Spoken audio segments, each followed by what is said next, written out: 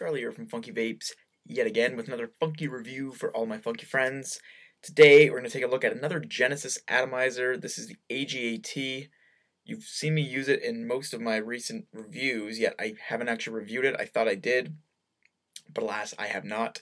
So I want to take a look at it. I'm pretty impressed overall, but we'll break it all down. I've been taking notes from a lot of my reviewer friends, and I've tried to make an outline of my reviews so they're less, sorry, frantic and a little more formal, though I'm going to keep them pretty casual. So, as an overview, what we have is an inexpensive Chinese Genesis atomizer. I hesitate to call it Chinese just because it's made in China, but anyways, it's it's Chinese.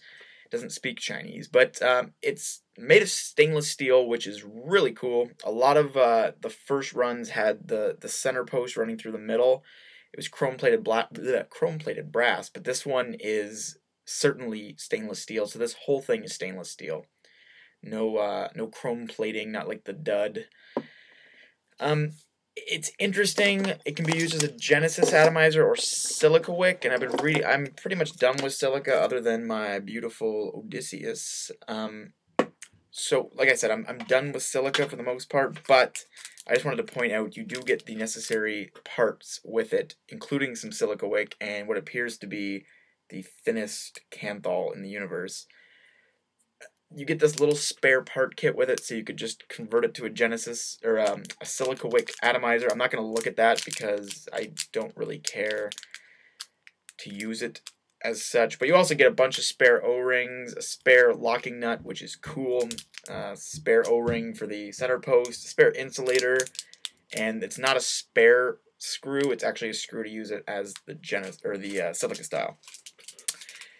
So what I like about this off the hop is that it's an original design. This isn't an issue of, you know, cloning or ripping off someone else's design. Far as I know, it's it's pretty unique. I mean, it's as much of a clone as like any popular Genesis atomizer like the Bliss or a Cobra. You could call those a clone of some Genesis idea, but that's ridiculous and I wouldn't do it. So this one is essentially its own design we'll uh, we'll move right into aesthetics actually because I like and hate the design. What I do like about it is it's very solid, very heavy feeling. It's got some heft to it. It's large. Um, there she is. It's a big boy. I'll try to find my. There's the dud, did clone kind of thing. It's a really hefty device works out to be the exact same diameter as my Caravella though, so about 22 millimeters. And when I say exact, I mean it's actually exact. Like there's no, if you can run your thumb along it, there's no profile difference. So to me, that's a plus that it's this thick. But for some people, if you're using this on a Provari or whatever you're going to use it on, and I, I really don't like using Genesis stuff on a Provari. They're just too there's too much monitoring going on, which is a good thing, but it just it gets very finicky when you get shorts. So I like to use mechanical devices, and it happens to look fantastic on the Caravella. And I must say, it actually looks better on the GGTS because the GGTS has this native knurling on the air control here. So provided you use it with the top cap, I might as well just toss it on now while we're talking about aesthetics. I won't fire it up, but look what I've gone and done. Actually, I won't, but you can see the knurling is essentially the exact same knurling, and it ends up looking real sharp, I assure you. So if you wanted to use it on a GGTS, that would look fantastic. So the finish is great, the diameter is awesome, and we'll just talk about it really quick. The cost is just mind-boggling. For stainless steel, Genesis atomizer, easy to use in service. It's I haven't seen it much more than 30 bucks, which is very affordable in my opinion. I got this in a co-op. I think it was like $13. It's very, very affordable and performs great. The top cap here has a nice little, you know, embellishment, a little groove there. It fits drip tips marvelously. Like, that's just a, cheapo stainless steel Ming. Um, here's a, a plastic Mon style drip tip. Again, it, it fits most drip tips nice and snug. The only one that's a bit wishy-washy is this old stainless steel one I have here and it kind of just pops in and out very easily. But that's the only one I've had issue with, and I've used a lot of different drip tips in here. So the dislikes, like I said, I hate the knurling. I think it looks awful on anything but a GGTS. So that being said, they're, they're coming out with new revisions of these. The AGA-S is coming out, and that one has no knurling, but it also doesn't have a clear window. It's mostly stainless steel. It looks really nice, but I like having a clear window so I can see how much juice I have and make sure the air hole's lined up. As well, there's the AGA-W, but I guess it's not coming in North America. It has no knurling, and it's a pop-off top cap, which is neat, but it has a threaded tank. So, anyways, a lot of different uh, revisions coming out. So I hear the revision 2 is coming out soon. That one's going to be a pop top, no knurling, apparently, and I think that's the only major difference. So in terms of the uh, the performance, I'm going to pop the, the hood here. That's the first thing we'll talk about. It is a screw top with an insulator, or um, an O-ring there. My air hole actually came nearly lined up, a lot closer than it is now. As you can see, it's off by a little bit and I didn't realize I normally sand it down to make it line up, but it was off the other way. So by sanding it, I actually put it off a little further. So it it's barely, barely any amount of turning to get it to line up perfectly. But that's the downfall with this uh, this stuff coming out of China is that the air holes just aren't lining up, and I don't understand what's so hard about machining the top caps, assembling them, and then drilling the air hole last to make it line up. I'm sure that's not what they're doing because it would line up great. Drives me nuts. But you can fix it. I guess I could sand this down even more, but then I'm going to lose a few uh, millimeters off this, and the air hole won't be, it'll be at the bottom of the coil rather than the top, and to me that affects the vapor production. So I'd rather just turn it a little bit. So that is a, um, a dislike, but we'll switch this off for now. I'll tell you what I love about it. It's got huge uh, wick hole. The wick hole is gigantic. It's probably about 3 millimeter, which makes for a really thick wick, really great for 500 mesh. You can make it hollow, you can make it thick, doesn't really matter. It's, it's thick enough that it'll just suck the juice right up.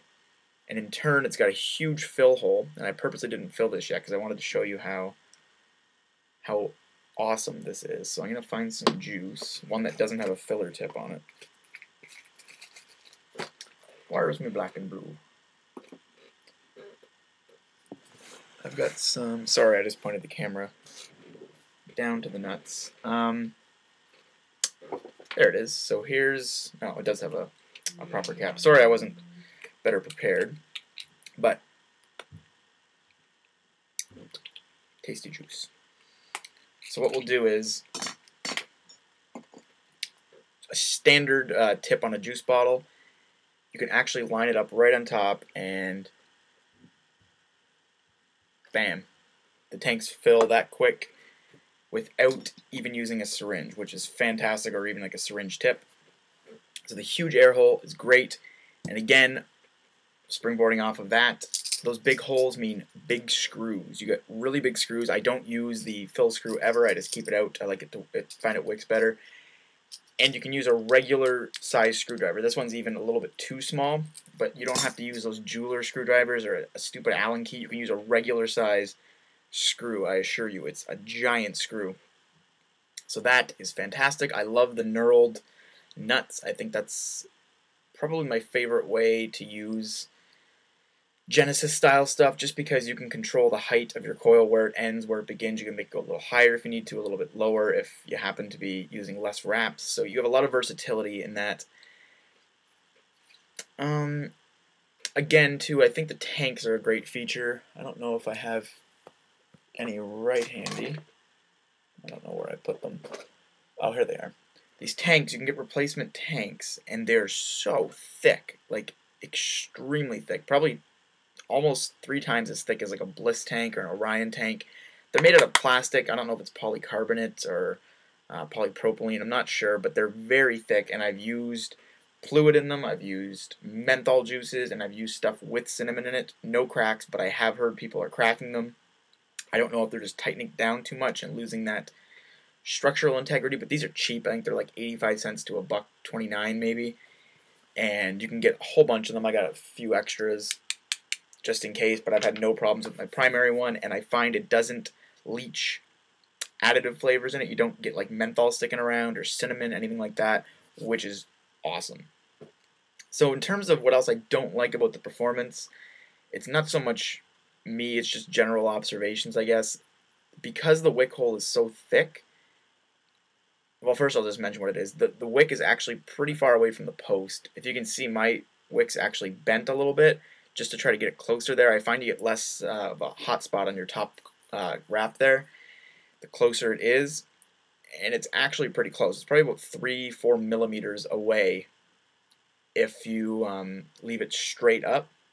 So I've been bending it over a little bit, which isn't a big deal. It doesn't affect the wicking at all, really.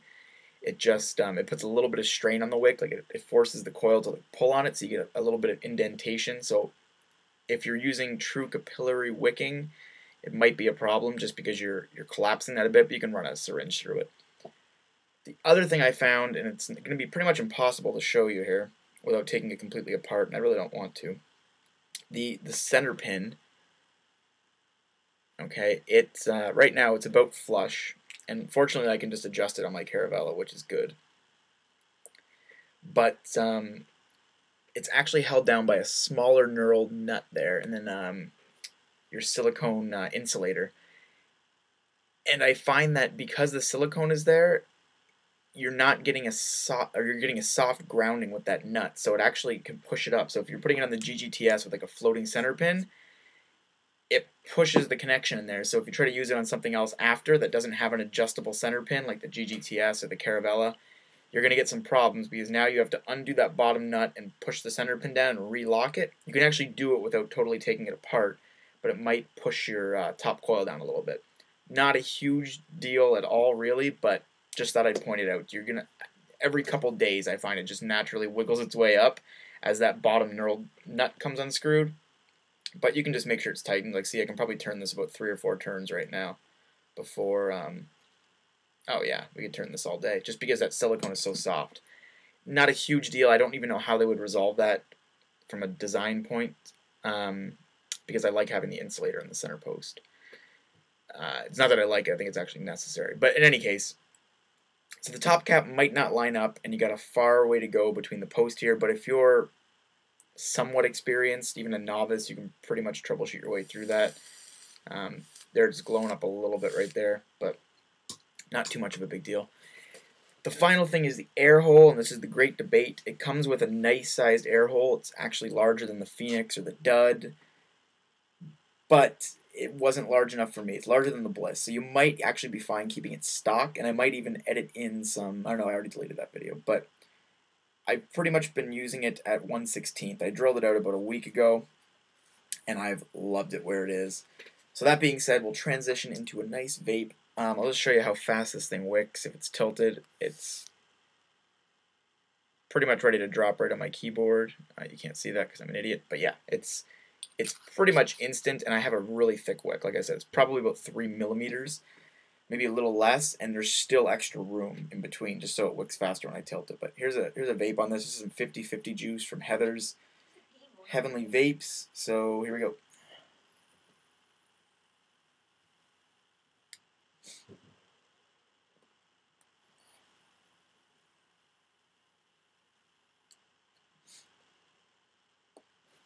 This is, of course, on the Caravella with a 18650, about half charged battery. I got a, a 3-4 wrap going on this with 28 gauge Kanthal. Wicks great, tastes great, and really good vapor with the 116th air hole, to be uh, perfectly honest.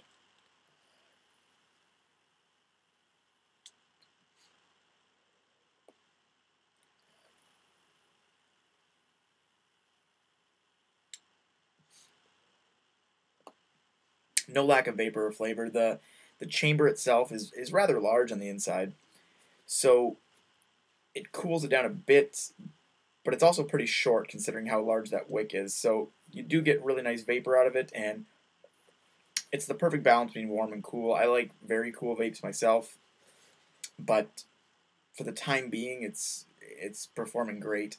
The draw, therefore, isn't as airy as say um, the dud that I drilled out to 116th as well. I just find that it feels like there's no resistance. This stuff, there's actually enough things in here, like this tertiary little post that has nothing to do with the Genesis setup, that stifles and stiffens up the draw just a bit, as well as the big, huge center post, the big locking nuts, the big screw. It just takes up some space in the otherwise empty cap. I find the more space you put in there, the warmer the vape gets. It just doesn't have as much uh, airflow to cool down. So although the hole's big, the amount of air you can get in there is still, you know, it's finite and it's uh, somewhat determined by the amount of stuff inside. So there's enough stuff to uh, keep it a nice balanced, warm, and cool vape.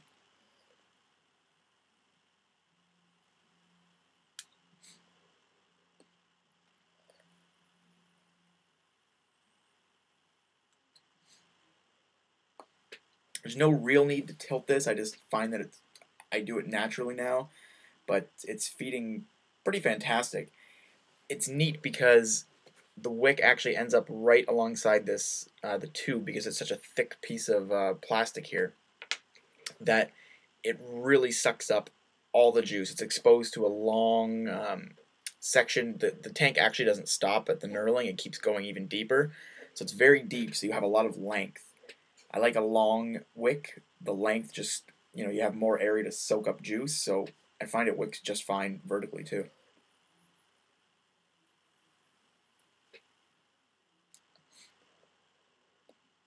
Fantastic. So there she is. That's how she vapes. I'm really impressed by this. As far as the cost is concerned, this is by far my favorite Genesis atomizer just between cost and performance. I do like the nicer stuff as well. But this is getting the job done at a great price. Once the new ones with the knurling come out, or even the AGA-S, which is out now, once those start hitting the market, I think those will be easily my favorite Genesis atomizers. It doesn't bother me they're from China. It makes me a little happy that they're not a clone. They're kind of like their own unique thing. But you can't go wrong with this, really. The only downfall, like I said, is that post is a little bit far away, but even with some high-end stuff, you get that and the air hole might not line up. So hopefully China gets their shit together and figures that out. In the meantime, though, you can sand it if if um, it's off in the right direction. You can actually sand it no matter what. You're just going to lose a few millimeters in length. But it works fine. Absolutely no leaks. The O-rings are tight. These tanks aren't threaded, so you don't have to worry about that. They have pretty much infinite longevity. No real parts on here that are going to wear and tear over time. So it's uh, one of the true benefits of a Genesis atomizer, in my opinion, is just the longevity. It should this one should, in theory, at least work forever. Stainless steel on stainless steel threads. They're not gonna, you know, it's not aluminum or brass uh, getting toothed by the the nice stainless steel. So overall, it's it's great in my opinion. A couple more vapes on it.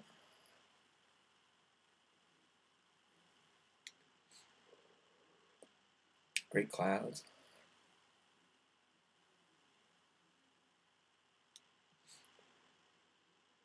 As I said, this is a 50-50 juice, so and I'm not taking particularly long uh, drags either, so I think the vapor production is fantastic.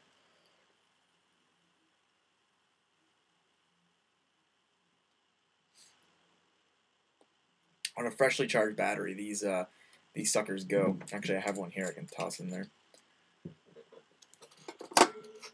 love the Caravella. The brass contacts with the freshly charged battery and the, the low resistance coil.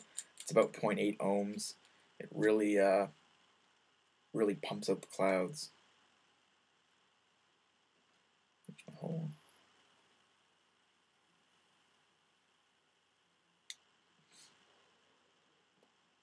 Oh yeah.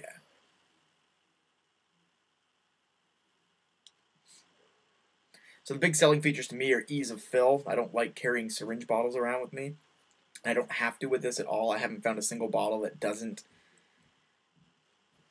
fit. I mean, it, it doesn't actually fit into the hole, but it's close enough that when you just put it up to it, like lip to hole, lip to hole, when you put it lip to hole, it fills within, you know, probably a second and a half. If you give it a good squeeze, you can get away with one tough squeeze and she's filled right up.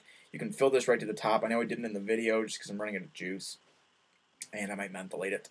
So that's the AGA-T. It's a steal of a price. Uh, steel, stainless steel. A steal of a price for a stainless steel Genesis atomizer. I can't fault it in performance other than the air hole not lining up. But like I said, mine was pretty much right on. I'm just a perfectionist in that regard, and I ended up rushing it and realized that I would have to sand it even more to get it to go all the way around again. Not even worth it for the little bit that it was off. And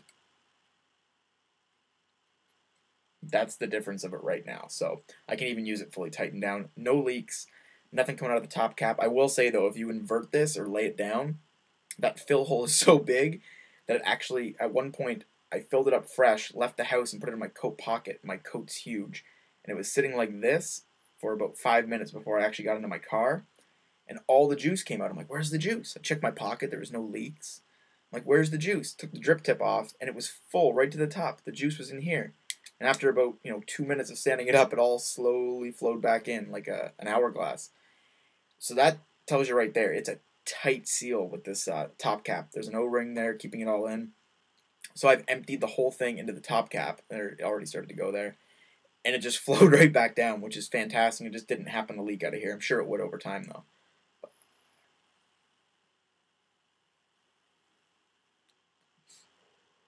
Not much else to say. There's a million places to grab these, so if you've been interested in it, I highly recommend it. Just bear in mind it's a little bit big. So that's my review of the AGA-T stainless steel Genesis atomizer. I hope it uh, helped. If you have any questions, feel free to PM me, uh, email me, contact me on ECF, YouTube, wherever, and that's it. Thanks for watching. Thank you for subscribing. Vape Groovily, and I'll catch you later.